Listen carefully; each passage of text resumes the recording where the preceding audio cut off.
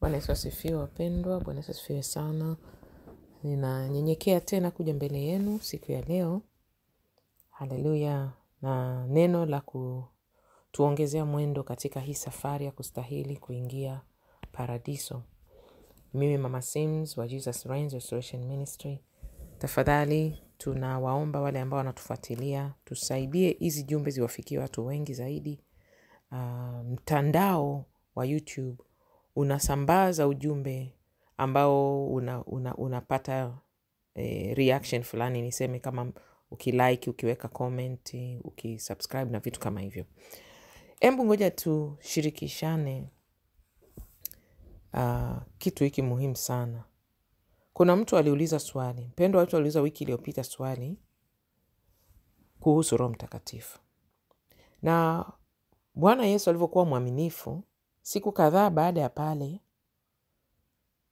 likatokea tukio ambalo lilitushangaza hata mimi na mtumishi wa Mungu. Mimi binafsi nilikuwa sijawahi kusikia kitu kama hicho, ushuhuda wa namna hiyo, lakini ilimpendeza Mungu pamoja na yale maji, ma, maandiko tuliyomtumia mpendwa wetu aliyeuliza swali kwamba je, inawezekana kujazwa Roho Mtakatifu kabla ya kubatizwa? Tukamwambia ndiyo, kwa maana kuna maandiko.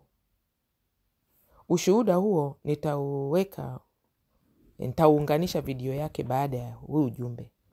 Ngoja nikushirikishe maandiko tuliyompatia ili kila mtu mwenye swali hili apate jibu, au kama unajua mtu atakuwa na swali baadaye.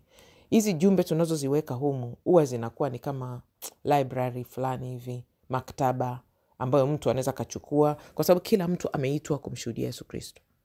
Watumishi wa Mungu mbalimbali wanafanya kazi yao pia, walioitiwa na Bwana, jinsi Roho wa Mungu anavyowapa neema. Chukua pia mafundisho ya, ya ukweli ya utakatifu ya kufuata Injili. Wewe sio lazima wewe uwe, uwe, uwe, uwe mhubiri madhabahuni au kwenye mtandao au mwalimu eh, kama sisi wengine sijui utatuita ni mwalimu, maanake mimi sio mchungaji, mimi sio kitu chochote. Mimi ni mama tu, ni mama ambaye namshuhudia Yesu Kristo, ni mama ambaye ninalea. Kuna watoto Mungu amenipatia wa kuwashika mkono, kuwapa moyo katika hii safari. Ni mama tu, mimi sio kitu chochote. Kwa hiyo maandiko tuliyompatia yule mpendwa wetu e, tulimpatia mifano kwenye Bibilia. Tukisoma Matendo ya Mitume kumi, tuanzie mstari wa thelathini na nne. Nitasoma katika jina la Bwana wetu Yesu Kristo. Inasema hivi: Petro akafumbua kinywa chake akasema, hakika natambua ya kuwa Mungu hana upendeleo, bali katika kila taifa mtu amchaye na kutenda haki hukubaliwa na yeye. Neno lile alilowapelekea wana wa Israeli akihubiri habari njema kwa ya, ya amani kwa Yesu Kristo ndiye Bwana wa yote. Jambo lile ninyi mmelijua,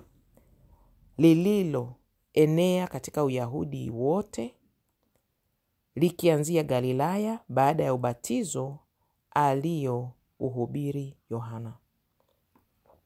Mstari wa 38, habari za Yesu wa Nazareti, jinsi Mungu alivyomtia mafuta kwa Roho Mtakatifu na nguvu yake, akazunguka huko na huko akitenda kazi njema na kuwaponya wote walioonewa na Ibilisi, kwa maana Mungu alikuwa pamoja naye. Nasi tu mashahidi wa mambo yote aliyoyatenda katika nchi ya Wayahudi na katika Yerusalemu, ambaye walimuua wakamtundika mtini. Huyo Mungu alimfufua siku ya tatu, akamjalia kudhihirika, si kwa watu wote, bali kwa mashahidi waliokuwa wamekwisha kuchaguliwa na Mungu, ndiyo sisi tuliokula na kunywa pamoja naye baada ya kufufuka kwake kutoka kwa wafu.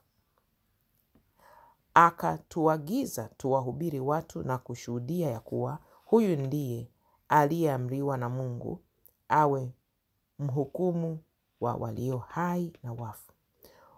Huyo manabii wote humshuhudia ya kwamba kwa jina lake kila amwaminie atapata ondoleo la dhambi. Sasa sikia hapa inachofuata. Petro alipokuwa, jibu la swali linaingia hapa, mstari wa 44.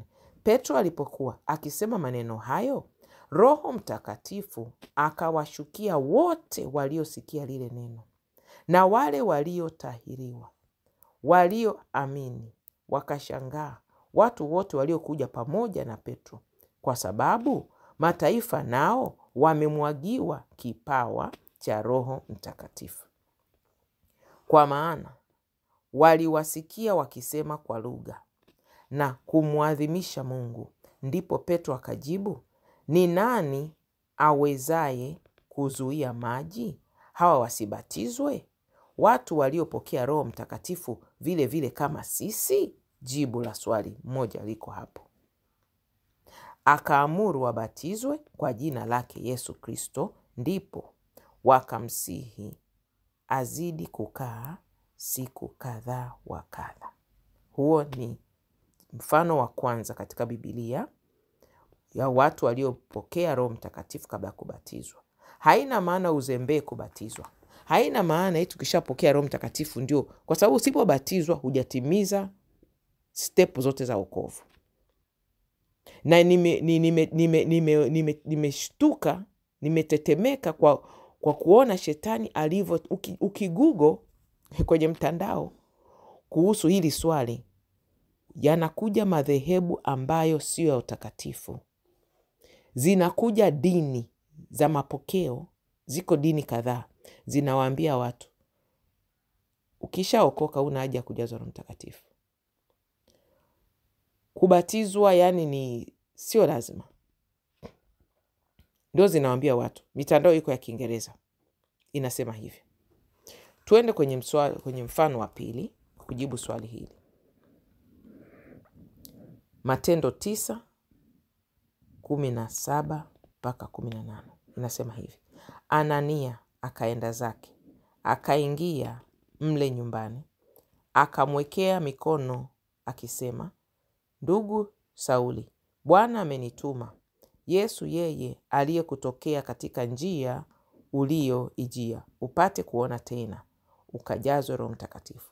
Mara vikaanguka machoni pake vitu kama magamba, akapata kuona, akasimama, akabatizwa.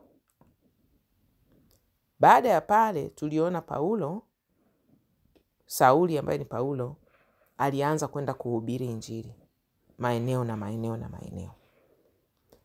Hapa siwezi kusema kwa uhakika alijazwa Roho Mtakatifu alipoponywa au alijazwa Roho Mtakatifu baadaye, lakini kwenye mazingira haya, huyu Sauli alipokea uponyaji wake. Ninavyoelewa mimi, ule uponyaji ulikuja na ujazo wa Roho Mtakatifu, kwa sababu mara baada ya hapo akabatizwa, akaanza kuhubiri Injili. Hii ni mifano ambayo tunapewa katika neno la Mungu kuhusiana na ubatizo na Roho Mtakatifu. Je, mtu anaweza, kuna baadhi wanaweza kujazwa Roho Mtakatifu ndiko wabatizwe. Nitatoa mfano wa tatu kwenye Bibilia ya mtu ambaye yaani Roho Mtakatifu alikuwa ameanza kusema naye, yaani alikuwa ni kama ameanza kupokea hata karama, kwa sababu alikuwa anaona maono na vitu kama hivyo, na alikuwa bado anasubiria ubatizo wake. Haya mifano yote ni kumpa mtu moyo, endelea. Tulimwambia, tulimpa jibu vizuri huyo Mungu alivyotusaidia tunavyoelewa sisi.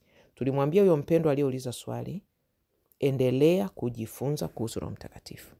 Usipojifunza kuhusu Roho Mtakatifu, kufuata maandiko na kuelezea, shetani naye anaujaza watu maroho yanayonena kwa lugha, lakini utaona matunda yule mtu unaanza kujiuliza huyu ana wokovu gani? Kwa sababu anatenda dhambi, haogopi dhambi. Akisikia sauti in, sauti ile namwambia kufanya vitu kinyume na mapenzi ya Mungu, kufanya vitu visivyokuwa na hekima, kufanya vitu visivyompendeza Mungu. Tulimwambia ni muhimu kujifunza kuhusu Roho Mtakatifu ili aelewe kitu anachokipokea. Haleluya, tuendelee. Ukienda ma, mi, m, Matendo ya Mitume mlango huo huo wa kumi, sura hiyo ya kumi, anza mstari wa kwanza, inasema hivi: palikuwa na mtu Kaisaria, jina lake Cornelio, akida wa kikosi kilichoitwa Kiitalia, mtu mtaua, mchaji wa Mungu, yeye na nyumba yake yote. Naye alikuwa akiwapa watu sadaka nyingi na kumwomba Mungu daima. Akaona katika maono waziwazi kama saa tisa ya mchana malaika wa Mungu akimjia na kumwambia Kornelio. Akamwita Kornelio, yani malaika wa Mungu akamjia na kumwambia Kornelio. Akamtazama sana, akaogopa, akasema, kuna nini Bwana? Akamwambia, sala zako na sadaka zako zimefika juu ya kuwa ukumbusho mbele za Mungu. Sasa basi, peleka watu Yafa, ukamwite Simoni aitwaye Petro. Yeye ni mgeni wa mtu mmoja jina lake Simoni, mtengenezaji wa ngozi, ambaye nyumba yake iko pwani. Atakuambia yakupasayo kutenda. Na yule malaika aliyesema naye akiisha kuondoka, Kornelio akawaita wawili katika watumishi wake nyumbani, na askari mmoja, mtu mtaua katika wale waliomhudumia daima. Na alipokwisha kuwaeleza mambo yote, akawatuma kwenda Yafa. Hata siku ya pili walipokuwa wakisafiri na kukaribia mji, Petro alipanda juu darini kwenda kuomba, yapata saa sita ya mchana. Akaumwa na njaa sana, akataka kula, lakini walipokuwa wakiandaa, roho yake ikazimia. Hii njaa sana, hatuna uhakika kama alikuwa anafunga. Tunavyoelewa, ninavyoelewa mimi kwa ufahamu wangu mdogo, inawezekana alikuwa amefunga. Ukiwa na njaa ambayo inakufanya roho yako inazimia, inawezekana alikuwa amefunga, hatujui kwa muda gani. Haya, akaona mbingu zimefufuka zimefunuka. Samahani, Bwana Yesu anisamehe, hapo nimejikwaa kwenye maandiko. Akaona, mstari kumi na moja, narudia, akaona mbingu zimefunuka na chombo kikishuka kama nguo kubwa, inatelemshwa kwa pembe zake nne hata nchi, ambayo ndani yake walikuwamo aina zote za wanyama wenye miguu minne na hao watambaao na ndege wa angani. Kisha sauti ikamjia kusema, ondoka Petro, uchinje ule. Lakini Petro akasema, hasha Bwana, kwa maana sijakula kamwe kitu kilicho kichafu na najisi au najisi. Sauti ikamjia mara ya pili ikamwambia, vilivyotakaswa na Mungu usiviite wewe najisi. Jambo hili nitazungumzia kitu kuhusu hili andiko. Hili andiko, kuna watu wamegawanyika makundi mawili. Kuna wanaosema tutakula chochote kile Mungu alichokiweka mbele yetu, ambacho mimi sina mamlaka yoyote ya kusema ni dhambi au sio dhambi. Haleluya! Ila kuna watu ambao wanasema mm -mm, kuliko ku, kuriski, mimi naamua tu sitakula vile vitu vilivyozuiliwa kwenye Biblia. Sasa wewe Mungu akupe neema, kwa sababu kuna andiko lingine. Haleluya! andiko lingine kwenye Bibilia linasema hivi Waraka wa kwanza wa Thesalonika tano mstari wa ishirini na mbili nasema jitengeni na ubaya wa kila aina. Kwa Kiingereza nitakuelezea walivyosema kwa Kiingereza, alafu nitakutafsiria kwa uhakika navyoelewa Kiingereza na Kiswahili kinavyotafsiriwa. Kiingereza kimesema hiyo hiyo, waraka wa kwanza Thesalonika tano ishirini na mbili inasema abstain from all appearance of evil. All appearance, yaani jitengeni na kile kinachoonekana kuwa ni kiovu, kinachoonekana. Kwa hiyo wewe, kitu chochote kile kikikunyima amani moyoni mwako, mimi mimi binafsi nitakwambia, mimi binafsi ninavyo ninavyojaribu kuenenda na Bwana, chochote ambacho kinaonekana sina uhakika lakini kinaonekana kwamba ni kiovu na kikwepa. Kwa hiyo kila mtu na afanye vile ambavyo moyoni mwake anashuhudiwa, kwa sababu kila mtu atafanya nini? Atahukumiwa sawasawa na matendo yake. Watu wanapenda sana, wanapenda sana. Mungu alinionya, ananionya kila siku, anasema watu hawataki kutafuta uso wa Bwana, hawataki kutafuta majibu toka kwa Bwana wao wenyewe, ambayo inachukuaga muda. Kuna wakati mwingine inachukua muda, unaota ndoto, unaona maono, unapata msukumo kufanya kitu fulani. Wanataka tu wamuulize mtumishi, mtumishi awape jibu, wakafanye. Wanamweka yule mtumishi kwenye hukumu, akikosea kujibu, akikosea kutoa jibu. Wao waliouliza na yule mtumishi wa Mungu, iwapo akikosea akawaongoza vibaya, wote watakuwa kwenye hukumu. Mtu mi akinijia mzima mzima ananiuliza nimeota hiki, mi sina karama ya, ku, ya kufafanua ndoto. Wapo wenye hiyo karama. Kwa hiyo ninaenenda sawasawa na kile Mungu ambacho ameni, ameni, amenijalia. Kuna wengine wamejaliwa, anaona, anasikia ndoto, anasikia jibu hapo hapo. Basi Mungu akusaidie upati watu wa hivyo. Mimi kwangu aa, mm-mm, hapana Wa nina- naendelea vile Mungu anavyoniongoza. Nikiota vya kwangu akinisemesha, nashukuru Mungu. Vingine anaendelea kunielekeza hatua kwa hatua. Tuendelee na ili ili, ili jibu la mpendwa wetu eh, ili tuelewe maandiko. Mpendwa, upende kusoma maandiko, upende kusoma maandiko. Fungua maandiko wewe mwenyewe kwa macho yako na masikio yako. Tuendelee. Sauti, mstari wa kumi na tano, sauti ikamjia mara ya pili ikimwambia, vilivyotakaswa na Mungu usiviite wewe najisi. Jambo hili likatendeka mara tatu, kisha kile chombo kikapokewa tena mbinguni. Hata Petro alipokuwa akiona shaka ndani ya nafsi yake, maana yake ni nini maono hayo aliyoyaona? Wale watu waliotumwa na Kornelio wakiisha kuiulizia nyumba ya Simoni, wakasimama mbele ya mlango, wakaita, wakauliza kwamba Simoni aitwaye Petro anakaa humo. Na Petro alikuwa akiyafikiri yale maono, Roho akamwambia, watu wa, wako watu watatu wanakutafuta. Basi ondoka, ushuke, ufuatane nao, usione tashwishi, kwa maana ni mimi niliyewatuma. Petro akawashukia wale watu, akanena, mimi ndiye mnaye mtafuta, Mmekuja kwa sababu gani? Wakasema, Kornelio akida, mtu mwenye haki, mcha wa Mungu, mchaji wa Mungu, aliye na sifa njema kwa taifa lote la Wayahudi, alionywa na malaika mtakatifu kutuma watu kwako, uende nyumbani kwake, apate kusikiliza maneno yako. Akawakaribisha wale wageni wake. Hata siku ya pili Petro akaondoka akatoka pamoja nao, na baadhi ya ndugu waliokaa Yafa wakafuatana naye.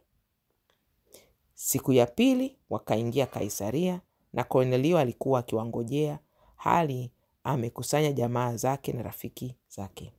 Petro alipokuwa akiingia, Kornelio akatoka amlaki, akamwangukia miguu, akamsujudia. Lakini Petro akamwinua akasema, simama, mimi nami ni mwanadamu. Na katika kusema naye akaingia ndani, akaona watu wengi wamekusanyika. Umeona? Sasa ukisoma baada ya hapa utaona aliwahubiria, na ndio katika lile kundi la watu ambao kutokana na yeye kuwahubiria walipokea Roho Mtakatifu. Umeona? Sasa jibu liko kwenye haya maandiko.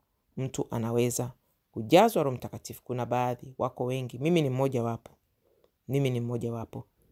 Ehe, nilijazwa mwaka elfu mbili elfu moja na tisini kama sikosei, tisini tisini na moja nilikuwa high school, tuliokoka hivi.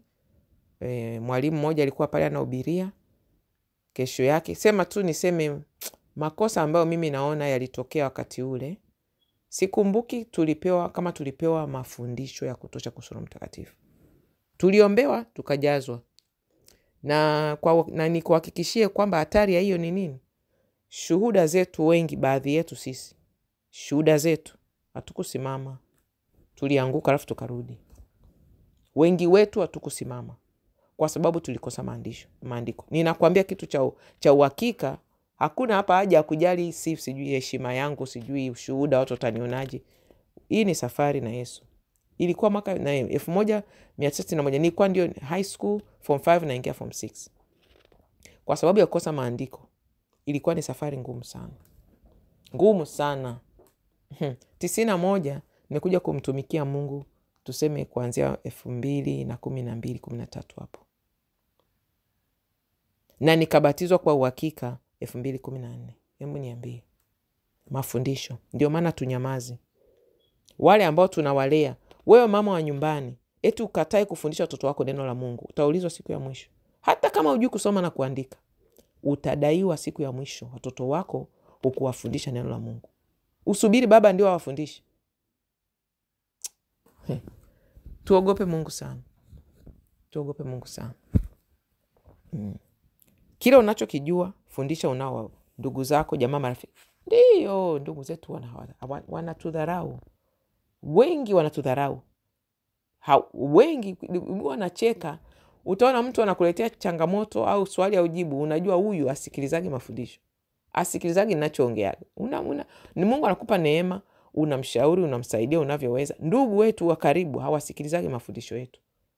Kwa sababu gani? Wametujua tulikotoka.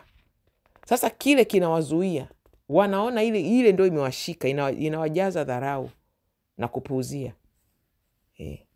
Mimi hiyo naielewa na haini haini- hainikwazi, naielewa, ila saa ingine inanisikitisha kwa sababu nasema iwapo Yesu Kristo angetuangalia wanadamu sawasawa wanadamu wanavyotuangalia, wengi tusingekuwa hapa leo, tusingekuwa hai leo. Kwa hiyo jibu liko hapa kwenye maandiko. Mtu anaweza kujazwa Roho Mtakatifu kabla, ni jinsi unavyotembea na Yesu. Sasa Roho Mtakatifu alivyokuwa mwaminifu siku mbili tatu baada ya mimi kutoa hilo jibu kwa huyu mpendwa, sikumtolea kwa urefu namna hii, ila ninamtamrushia tena hili somo apate maandiko vizuri. Mpendwa wangu, Roho Mtakatifu ilimpendeza kutujibu kwa uhalisia. Ndio huu shuhuda nitaweka nita sasa hivi usikie. Baada ya hii video nitaunganisha usikie huyu mama Mungu alichomtendea kwenye simu, sio live, kwenye simu. Hatukuwa na mpango wa kujazwa kuomba Roho Mtakatifu amjaze. Hatukuwa na mpango hatu, yani nilikuwa mazungumzo yetu ya kawaida. wa, mimi watu wakinipigia nawapa moyo, nawapa ushauri, tunaomba kama kine cha kuomba. Huyu nakwambia, ilikuwa katikati kati ya mazungumzo, Mungu alimfanyia mambo ya ajabu. Ngoja nitaunganisha ushuhuda huo baada ya huu. Bwana Yesu akubariki. Usisahau kulike, usisahau kucomment, andika chochote kile, amina, mitandao ile iweze kusogezea neno hili watu wengi. Ubarikiwe, asante.